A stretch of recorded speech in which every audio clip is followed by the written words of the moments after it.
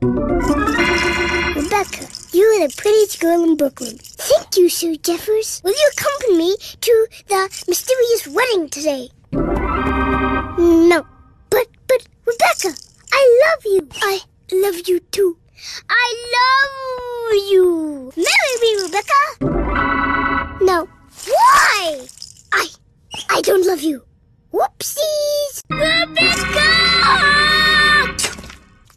In love with another. Who is this man?